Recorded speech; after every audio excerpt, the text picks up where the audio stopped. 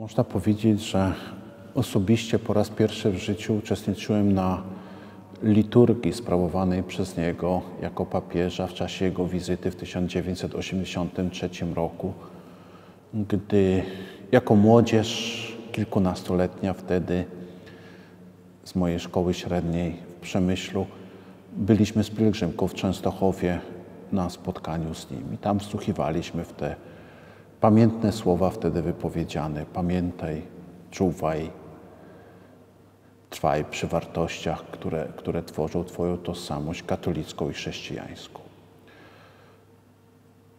To spotkanie chyba na tyle było dla mnie ważne i kluczowe, widzę z perspektywy tych ponad 30 lat, że pomogło mi, pomogło mi zdecydować o drodze życia, że wkrótce potem zgłosiłem się do nowicjatu y, franciszkańskiego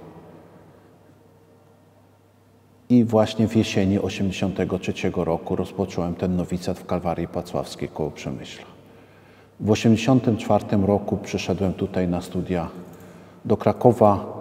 W tym miejscu, w tym klasztorze rozpoczęliśmy sześcioletnią formację filozoficzno-teologiczną. Miejscu, które, jak się wydaje, jest szczególne dla, dla zrozumienia tego krakowskiego okresu y, Karola Wojtyły, Jana Pawła II, ponieważ jesteśmy przy ulicy Franciszkańskiej. Franciszkańska to tylko cztery numery. Parzyste są nasze franciszkańskie, czyli bazylika i seminarium, a nieparzyste właśnie są, y, są y, kościelne, diecezjalne. Jedynka to kiedyś papieska akademia teologiczna, choć w naszych czasach jeszcze biblioteka publiczna, bo budynek był zabrany przez władzę, później zwrócony i jako siedziba główna Akademii Teologicznej, a dzisiaj Uniwersytetu Papieskiego Jana Pawła II, a słynna franciszkańska 3 to oczywiście kuria biskupia i mieszkanie Karola Wojtyły w czasach, gdy był metropolitą krakowskim. Zatem byliśmy najbliższymi sąsiadami. Y, kolejna pielgrzymka to był rok 87 i wtedy to już było tutaj bezpośrednie spotkanie z Janem Pawłem II, zwłaszcza w czasie jego pobytu w Krakowie. No i te słynne wieczorne dialogi, wieczorne rozmowy. I w 87, później w 91, gdy już jako ksiądz uczestniczyłem w tych wydarzeniach. Bo zostałem wyświęcony na kapłana w roku, w czerwcu 1990 roku. Y, dzisiaj może nadinterpretujemy to wszystko, ponieważ no, tacy jesteśmy, że, że niesłychanie emocjonalnie przeżywamy to, patrzymy przez perspektywę całości, świętości Jana Pawła II, ale wtedy to były takie, takie proste dialogi, byśmy powiedzieli, młodych ludzi i duszpasterza i ojca. One nigdy nie były przygotowywane, nigdy nie były wyreżyserowane i to są wyjątkowe, a żal, że nikt tego właśnie nie zarejestrował, nie spisał i tak dalej. Ale chyba takie były właśnie fragmentaryczne, ulotne. Dla nas, dla nas y, to były codzienne, codzienne doświadczenia, bo oprócz pomocy w organizacji tych różnych pielgrzymek, właśnie wieczorami po wszystkim mieliśmy możliwość tu bezpośrednio uczestniczyć i w czuwaniu tej młodzieży, no bo przecież to trwało ileś godzin, natomiast spotkanie z papieżem to było czasem kilkadziesiąt minut, y, no zwykle tak jakieś 30-40 minut. Nie? On też już był zmęczony po całym dniu. Ale nigdy nie opuścił, nie, nie darował sobie tej okazji, by jeszcze pozdrowić nas właśnie z tego okna, które dzisiaj jest tak wyróżnione jako okno papieskie. I ono dla tej generacji ludzi, dla ludzi, którzy, dla których pontyfikat Jana Pawła II jest y, kluczowym wydarzeniem życia, bo to większość życia mojej generacji i trochę młodszych też przecież, czy trochę starszych też. Y, to miejsce y, jest takim prywatnym miejscem kultu dzisiaj świętego już papieża Jana Pawła II, bo w, bo w Krakowie tych miejsc jest wiele, ale wydaje się, że każde ma wieloraką tożsamość, jest związane z kultem innych świętych, jest związane mocno z historią. Natomiast tu w centrum miasta to miejsce, to okno, ten skwerek przed naszym klasztorem y, daje tym ludziom i wspomnienia właśnie z tych, z tych intymnych spotkań, ale też okazję do osobistej modlitwy przedstawiennictwo Jana Pawła II. Dla nas oznaczało to mniej więcej, że jesteśmy w tak zwanej strefie zero, więc tam podwyższone środki bezpieczeństwa. Yy, yy, zakaz na przykład otwierania niektórych okien, o dziwo, zwłaszcza tych, które chcieliśmy szczególnie otworzyć, bo były najbliżej kurii, najbliżej franciszkańskiej. Yy, to też różne służby, które były w klasztorze, czy oddziały specjalne gdzieś tam na dachach i tak dalej ale też goście, goście, bo często ci, którzy towarzyszyli papieżowi, często nocowali właśnie u nas, by być najbliżej. Nie? W naszym refektarzu się stołowali. Y, także y, no, dla, nas, dla nas to było po prostu praca, by przyjąć tych wszystkich ludzi. W taki sposób byliśmy włączani. Czasem nie mieliśmy szansy uczestniczyć w tych głównych uroczystościach, ponieważ gdzieś tam na zapleczu było strasznie dużo do zrobienia. Y, tak zwany wolontariat świecki dopiero raczkowo uczyliśmy się tego.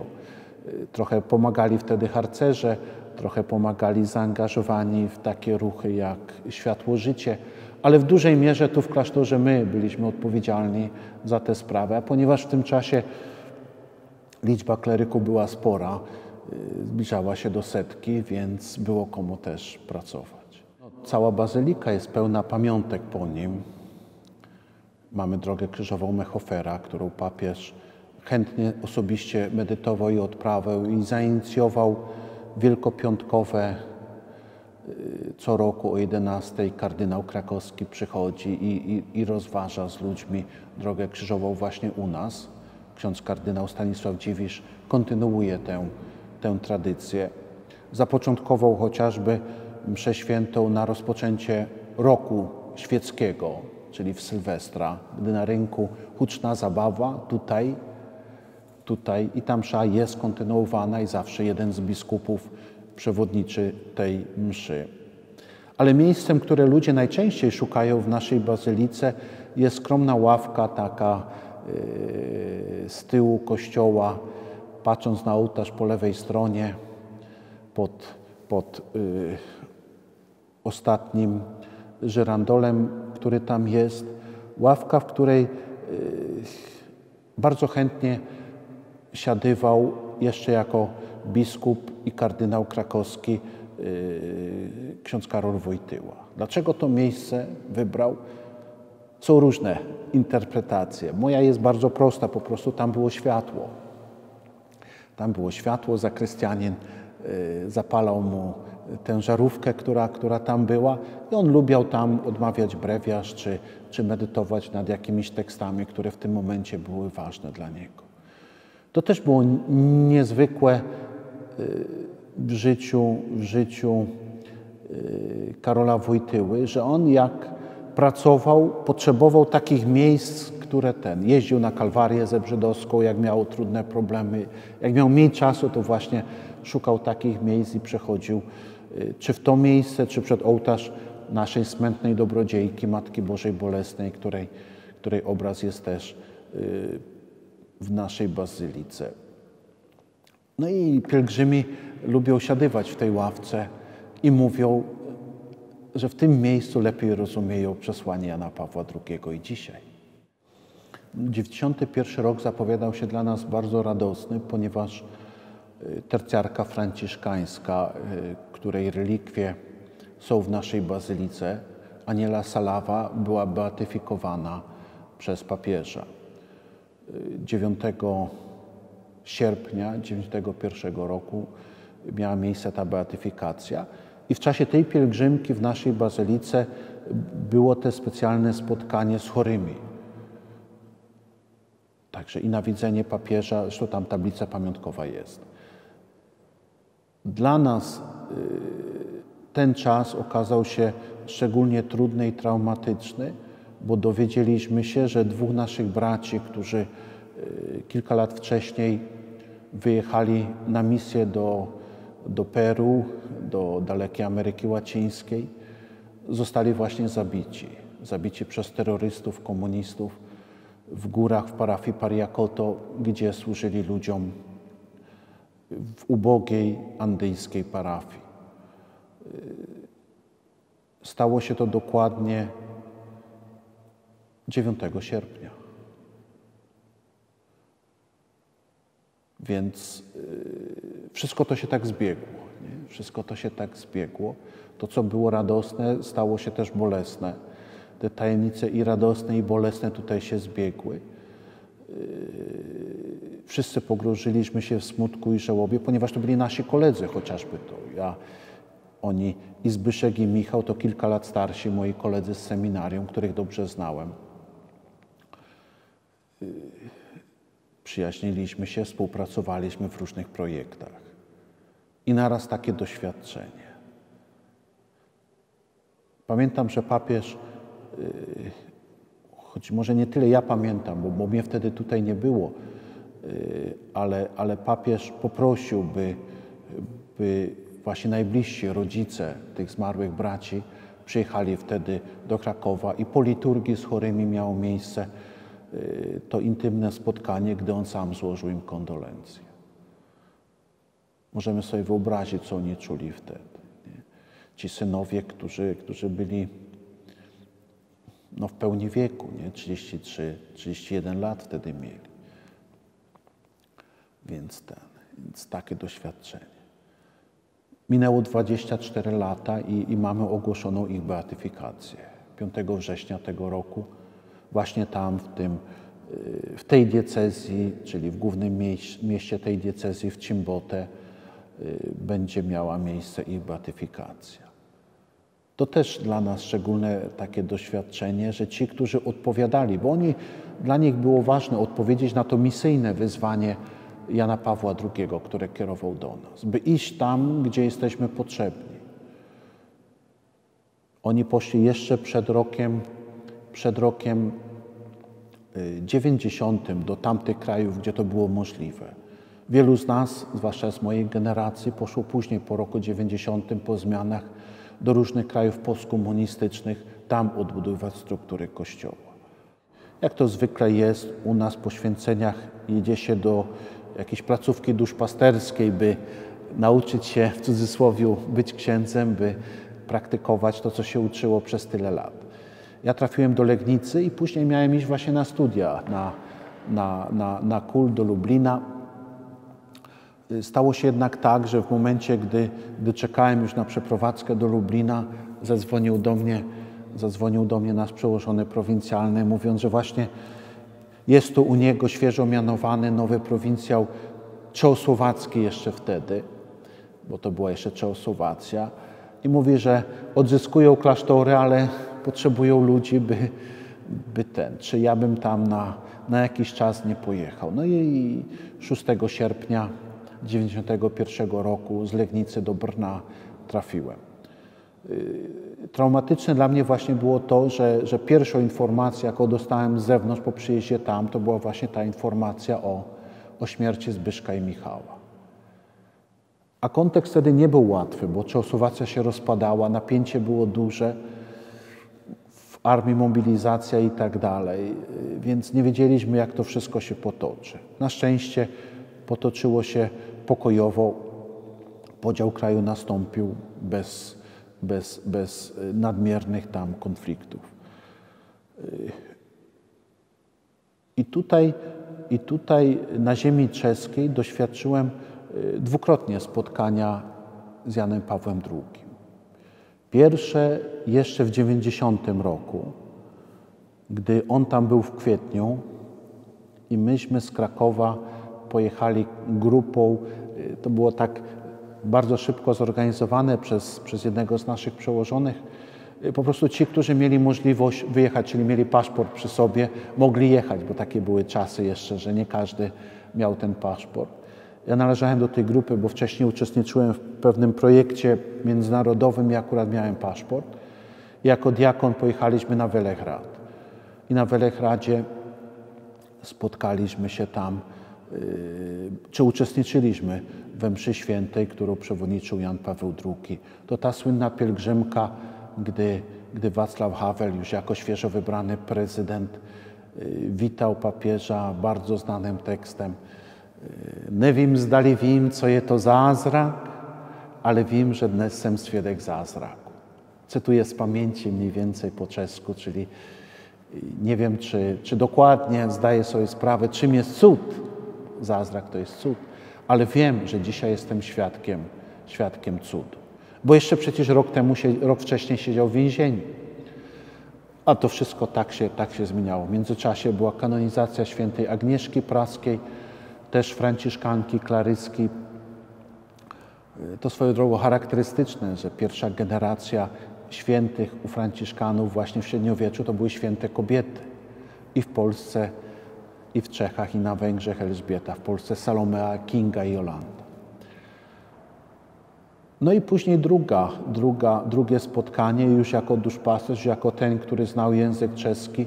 Byłem w Łomuńcu, ponieważ y, po Brnie pracowałem trzy lata w diecezji łomunieckiej, y, robiąc błyskawiczną karierę w parafii w Opawie, gdzie byłem y, najpierw wikarem, później administratorem parafii, a później proboszczem trzech kościołów jako młody ksiądz. To było niezwykłe, ale te czasy też były niezwykłe, bo rzeczywiście katolicy w Czechosłowacji, czy później w Czechach już, w Republice Czeskiej, y, na nowo odzyskali swoją tożsamość i stali się obywatelami swego kraju, gdy wcześniej byli drugiej, trzeciej czy czwartej kategorii.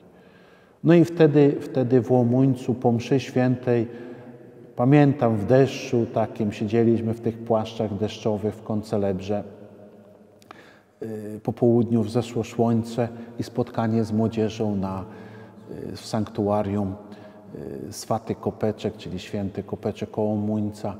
Y, było pełne radości, pełne śpiewów i myślę, że i y, dla papieża było ważnym doświadczeniem.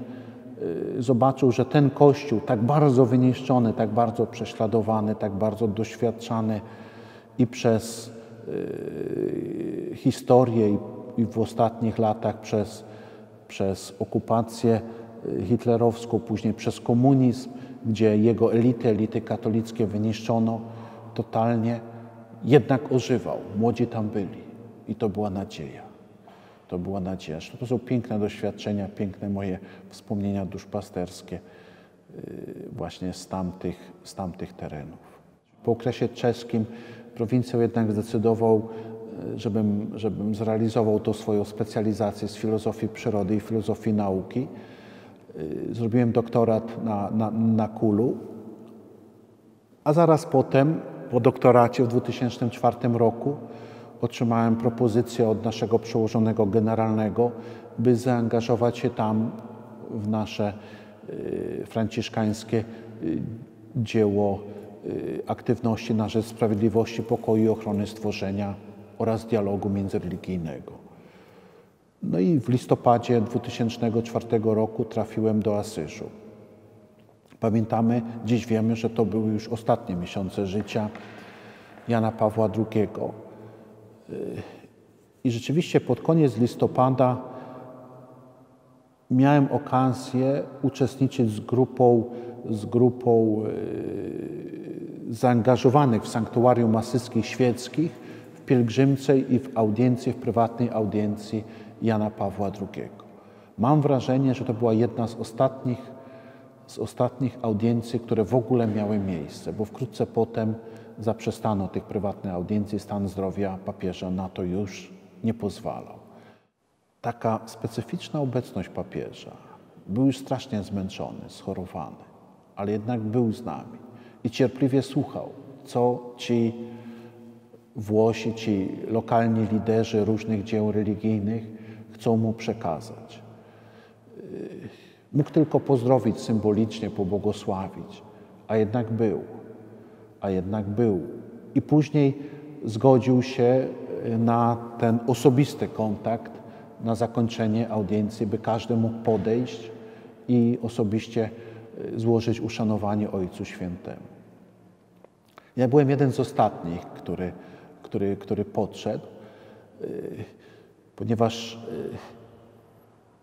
no mimo, mimo wykształcenia, mimo jakiegoś doświadczenia, jednak y, przejście z Polski, czy, czy, czy z naszych parafii, czy z czeskich, czy y, z polskich kontekstów do pracy w wymiarze no, prawie całoświatowym, bo Franciszkanie są w wielu krajach świata, na wszystkich kontynentach, y, trochę mnie przerażało i, i było to mocne wyzwanie. Zatem przyszło mi do głowy, że nic lepszego nie mogę powiedzieć, jak po prostu poprosić papieża o błogosławieństwo w tym zadaniu. I po polsku go właśnie o to poprosiłem. Od razu zareagował, podnosząc głowę. Y, chyba tak zwykle reagował na polski głos, z tego co się później dowiedziałem. No i ten, i położył mi rękę na głowie i pobłogosławił. Także za to jestem wdzięczny y, niezwykle. No, to był, tak mówię, koniec listopadu, za chwilę, kilka miesięcy później już, już to były ostatnie, ostatnie dni, gdy, gdy, jak to wiemy, jak to on tu pięknie określił, y, odchodził do domu ojca. I akurat pod koniec marca y, zdarzyło mi się, że byłem w Genewie na, na obradach y, jednej z tam z wielu spotkań Organizacji Narodów Zjednoczonych w Genewie, wspólnie z Franciscan International, taką organizacją międzyfranciszkańską, która próbowała lobbować na tym forum ONZ-u nasze sprawy, nasze tematy.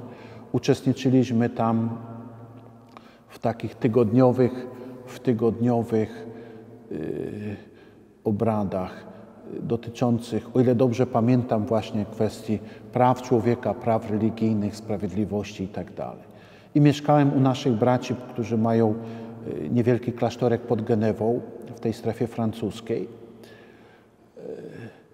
no i właśnie tam dowiedzieliśmy się o śmierci. Tam dowiedzieliśmy się o śmierci i, i, i paradoksem było, że, że właśnie ten, ten moment śledziłem w telewizji y, tam pod Genewą, gdzie jest rejon, no, centrum reformacji w ujęciu y, kalwińskim, czyli tej dosyć mocno antypapieskiej. Dosyć mocno antypapieskiej. Śledziliśmy poprzez telewizję francuską wydarzenia, które się działy wtedy w Watykanie. No, w tej parafii katolickiej oczywiście wszyscy w naturalny sposób zgromadzili się i, i, i modlili się. E, natomiast w samej Genewie widziałem taką schizofrenię. Oficjalnie spuszczono flagi do połowy, bo to przywódca państwa. Nie? Natomiast, natomiast no jednak ten duch antypapistyczny gdzieś tam był i, i nie widać było specjalnie przynajmniej tak mi się wydawało, nie, jako obserwatorowi, jakiegoś, jakiegoś specjalnego zaangażowania w tym temacie. Co zrobić? No, natomiast ten, natomiast na tym spotkaniu, na tym spotkaniu, w którym uczestniczyliśmy, spotkanie międzynarodowe, gdzie, gdzie jak to powiedzieć, jest tak troszeczkę ekstraterytorialnie na, teren, na terenie budynków ONZ-owskich. To było wielu chrześcijan, wielu katolików, także jakby y, można powiedzieć, że jak widzieli nas duchownych, no to podchodzili nawet i składali kondolencje na nasze ręce. Także to było niezwykle sympatyczne. Ja oczywiście y, szybko się pakowałem i próbowałem wrócić do Włoch, do Rzymu, by zdążyć na pogrzeb. Na pogrzeb nie zdążyłem, ale zdążyłem na, na konklawę. Także uczestniczyłem, miałem okazję uczestniczyć w inauguracji już pontyfikatu nowego, nowo wybranego, zresztą bardzo szybko papieża Benedykta XVI. Szczególne doświadczenie, które, które ja przeżyłem strasznie mocno, miało miejsce nie w Krakowie, ale w czasie wizyty papieża w Zamościu. Bo byłem wcześniej w Tarnowie i w Krośnie i na szlaku pielgrzymkowym tam, tam gdzie papież spotykał się ale w czasie, gdy papież w 99 roku bodajże, w czerwcu, odwiedził Zamość, y, mieszkałem w Lublinie, więc to było stosunkowo bliska wyprawa do Zamościa. Y, robiłem studia specjalistyczne w Lublinie y, i wiedzieliśmy, że tam na Roztoczu zapewne papież poruszy jakieś tematy związane z rolnictwem, sytuacją Y, właśnie y, wsi polskiej i tak dalej. A oto wtedy, bodajże chyba to był 10 czerwca 1999 roku, usłyszeliśmy, usłyszeliśmy wspaniałą katechezę ekologiczną. I te słynne słowa, to tutaj. I taki gest, nie? To tutaj śpiew ptaków brzmi znajomo po polsku. Po polsku. Yy, no to było coś niezwykłego dla mnie, który wiele lat swego życia yy, poświęcił na to, by, yy, by szukać tych wątków spójnych pomiędzy, pomiędzy praktyką i teorią ekologiczną, nauczaniem Kościoła i tradycją chrześcijańską. I papież w taki prosty, poetycki sposób, jestem pewien, że, że te, te najciekawsze frazy to właśnie były jego oryginalne, y, dał nam taki prezent, taką wspaniałą katechezę. Prawie całe moje y, życie kapłańskie w jakiś sposób jest złączone z tymi ideami, by pogłębiać i propagować y, takie chrześcijańskie, katolickie i franciszkańskie ujęcia problematyki, szeroko rozumianej problematyki ekologicznej.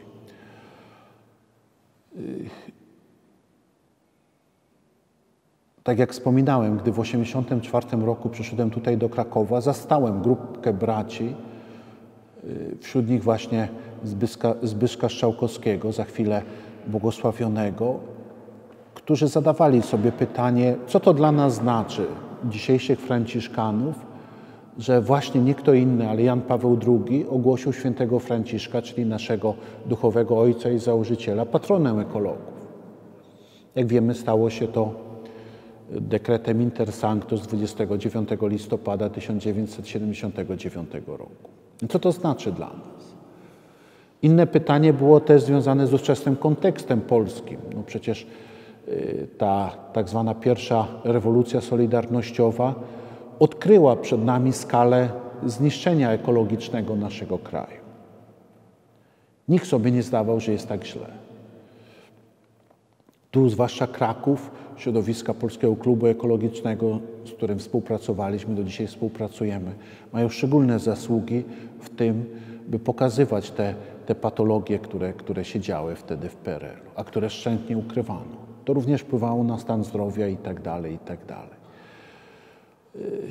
No i to wszystko, nie, refleksja nad tym wszystkim, no i nad wreszcie nad nauczaniem społecznym Kościoła, które wtedy studiowaliśmy. Yy, ja sam zgłosiłem się na seminarium właśnie z katolickiej nauki społecznej jako, jako kleryk. Yy, stawiały przed nami te tezy, nie? te papieskie właśnie przesłanie z pierwszej encykliki redemptor hominis, nie? co to znaczy być, a nie mieć, co to znaczy y, te, te, te, te wybory sprawiedliwości przed, y, przepraszam, miłości przed sprawiedliwością i tak dalej, i tak dalej. Nie? No i postanowili zareagować, tworząc ruch ekologiczny świętego Franciszka z Asyżu, który powstał w tych murach, w tym klasztorze, w tym seminarium i który istnieje do dzisiaj i jakoś tam już głównie przez świeckich rozwija te idee. No i mnie również jako, jako uczestnika tego seminarium z KNS-u y, spotkała taka propozycja, by na masowo wtedy organizowanych Dniach Kultury Chrześcijańskiej, bodajże w Stalowej Woli, ile pamiętam, przedstawić nauczanie Jana Pawła II w tym temacie. No i zacząłem grzebać w tym wszystkim przy pomocy swego promotora, i okazało się, że tych tekstów jest więcej niż nam się wydaje. Że one są, tylko y, po prostu inne uznawano za. Wtedy jeszcze nie tłumaczono wszystkiego, nie było przecież internetu, nie było takich możliwości. Y, nam się dzisiaj wydaje, że, że papież Franciszek mówi dużo, ale Jan Paweł II też ilościowo zostawił bardzo dużą spuściznę. Nie? I tylko część są jeszcze ciągle teksty nieprzełożone na język polski. Miejmy tego świadomość. Pamiętam, że sami wtedy przekładaliśmy y, z włoskiej czy z angielskiej jakiejś wersji któreś tam przemówienie dotyczące tej tematyki.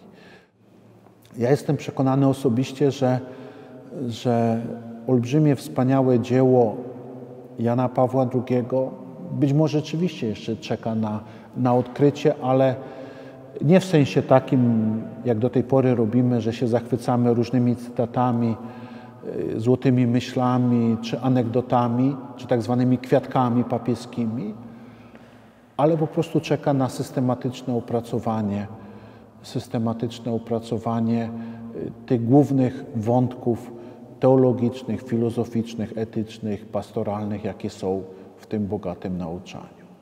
No i też tym świadectwie, jakie on nam dał przez prawie 27 lat swojej służby dla Kościoła jako papież. Mam nadzieję, że ta moja skromna monografia i te wszystkie artykuły, które później rozwijają te wątki, towarzysząc, towarzysząc rozwojowi nauczania kościelnego w tej tematyce ekologii chrześcijańskiej, no, będą jakimś małym przyczynkiem w tym wszystkim.